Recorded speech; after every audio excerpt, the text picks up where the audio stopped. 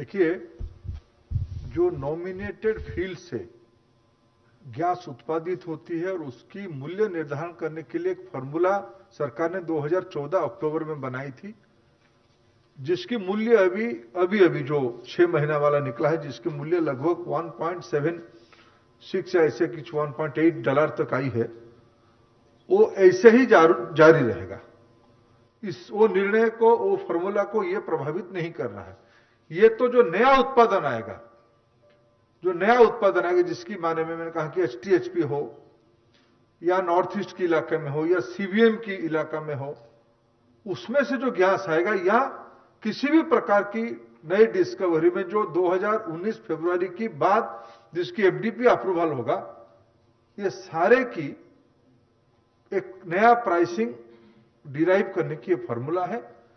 इसलिए इसमें कोई ये दो वो एक अलग विषय है ये अलग विषय इसलिए देश की जो मूल्य एपीएम गैस जिसको कहा जाता है जिसको एपीएम गैस कहा जाता है वो जो प्राइसिंग फॉर्मूला में तय हुआ है उसी में जारी रहेगा पुराने वाला। दूसरी उसके कारण उसकी जो प्रायोरिटी सेक्टर की प्राइस में उसकी कोई फ़र्क नहीं आएगी। 170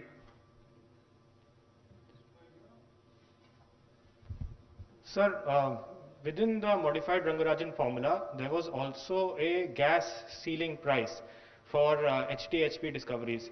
Uh, उस uh, उस उस मैकेनिज्म का क्या होगा? एक तो कोई there is no modified Rangarajan formula let let let me clarify 2000 Rangarajan formula को हमारी सरकार ने अस्वीकार किया। देश में उसमें विवाद हुआ। उस समय की सरकार ने गलत तरीके से उसको फॉर्मूला को निकल there is no such Rangarajan formula let me clarify उस समय में 2014 में जो फ्लरी आया था there was a capping mechanism that will be still continue that capping mechanism 116 sir मैं शैलेश यादव हूँ एनआई से। सर, जैसा कि आपने कहा कि अभी 84 एमएमसीडी का प्रोडक्शन होता है और आगे जो है 40 एमएमसीडी और बढ़ जाएगा। तो क्या इससे नेचुरल गैस की गैस की प्राइसिंग कम होगी? देखिए गैस की प्राइसिंग तो अभी तो एकदम कम है। हम सोर्स की कई सोर्स बना देंगे। डोमेस्टिक गैस रहेगा डोमेस्टिक गैस की दो प्रकार की प्राइस रहेगी। पुराने फ़ील्ड की एक प्राइस रहेगी नए फ़ील्ड की एक कॉम्पिटेटिव फॉर्मूले पे गैस प्राइस आएगा। अंतर्राष्ट्रीय बाज़ार में कुछ लॉन्ग टर्म कॉन्ट्रैक्ट हमारे उसकी प्राइस अलग है। स्पॉट में हम जो खरीदते उसकी प्राइस अलग है। ये धीरे धीरे भारत की बाज़ार में आएगा। हमने इन हम, हम लोगों ने मिनिस्ट्री ने इन दिनों में गैस एक्सचेंज भी पहल कर लिया है। एक्सचेंज में ट्रेडिंग होगा। कंज्यूमर अपने कैपेसिटी से उसको खरीदेगा 14 Raman from Dinamala. Sir, you made some points about three major decisions was taken today's cabinet. Could you elaborate in English what was the major? Is it going to benefit, South India is going to benefit out of your decision?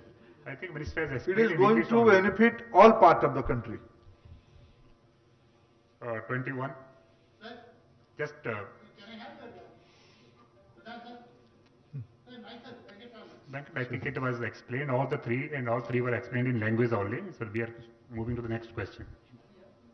जी मंत्री हमारा सवाल आपसे है इधर side हूँ right में ये जो आत्मनिर्भर भारत है इसके तहत ये जो गैस का जो भंडार है इन दिनों इसमें हम आत्मनिर्भर कब तक होने की संभावना देखिए विश्व में आज भारत तीसरी नंबर की एनर्जी कंज्यूमर है दूसरी और उसकी अगर एक एवरेज दिखेंगे, विश्व की एवरेज की वन थर्ड हम कंज्यूम कर रहे हैं।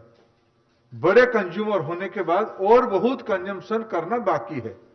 जब कंजम्पशन बढ़ेगी, भारत में कई सोर्स की एनर्जी हम लोगों ने सोलर की बायोफ्यूल्स की बायोगैस की सिंथेटिक गैस की लो कॉस्ट इंपोर्ट की कई सोर्स हमने रखा है।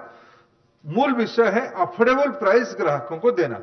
देश से बनाए या बाहर से लाए?